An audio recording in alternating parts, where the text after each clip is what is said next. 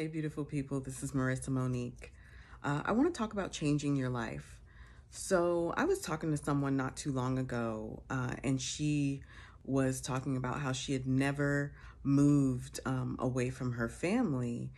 And uh, she wasn't really thinking about it, but I could tell that by the stories that she told and the vacations that she had taken, that she was very drawn to a few other places. And um, I was with some other friends, and we were like, You should try living somewhere else. And she was like, Oh, I can never do that. I don't have the guts to do that.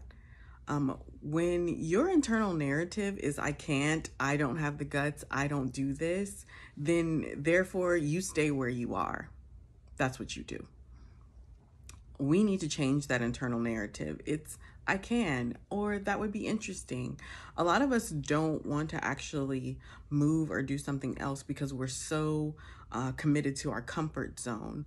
So, something that you may not know about me is that I have moved out of state several times. I've moved out of, I started moving out of state um, when I was 18, and I have moved five or six times um, through the age of 35 or so and I have enjoyed every single move.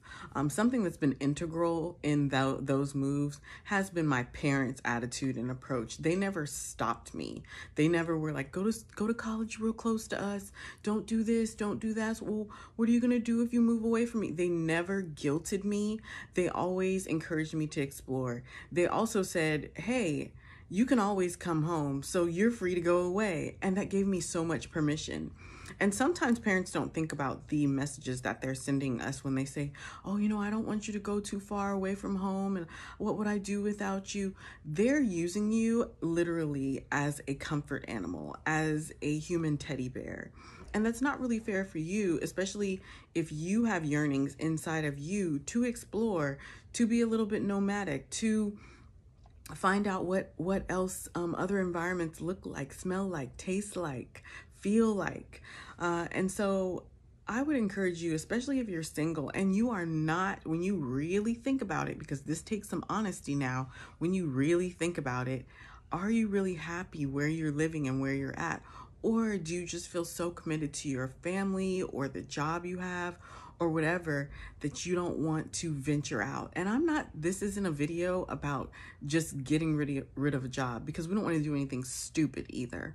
But there are ways that you can plan to travel more or to move um, and explore other places. For example, I have lived um, near the beach before, and then I lived inland, and then I lived in a place where it snowed.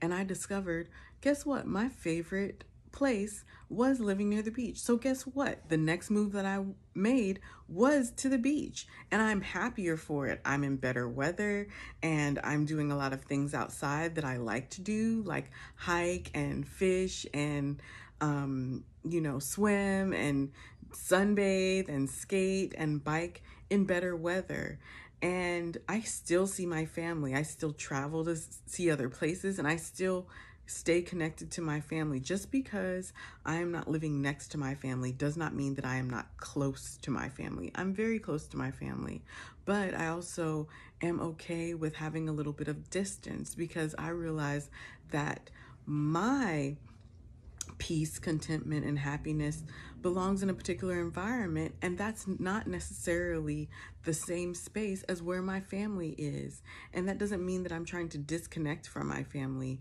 as a single person, the best time to explore and venture out to other places is when you are single. You will never get this time back. And so you have to be brave enough, courageous enough to sometimes put these moves in motion. And even if you have parents that are guilting you or making you feel bad or sorry about going away from them, you can offer assurance to them. You can offer assurance to your friends. And you can also offer assurance to yourself. A lot of us are lacking the confidence to really get out of our own way. And I know this sounds cliche, but a lot of people um, once they have made moves either to a new job, a new city, um, they have said, if I knew how happy I was going to be in this new place, I would have gone sooner. And that stands for new jobs, new environments, new cities. Um, I especially encourage these singles that are in very, very small towns and you feel like everybody knows everybody and it's very hard to date because everybody's connected with someone. Move now. move now. Move soon. Start putting your plans in motion. Write out a plan and make it happen. There is something that builds your confidence when you decide to sink or swim by yourself in a new place. And once you are in the new place, you also have to find ways to encourage yourself, to fight isolation, to fight loneliness, and to get connected. Ways to get connected, I will share in another video. But please, if you have a yearning to go somewhere else, do it try it. You can always go home.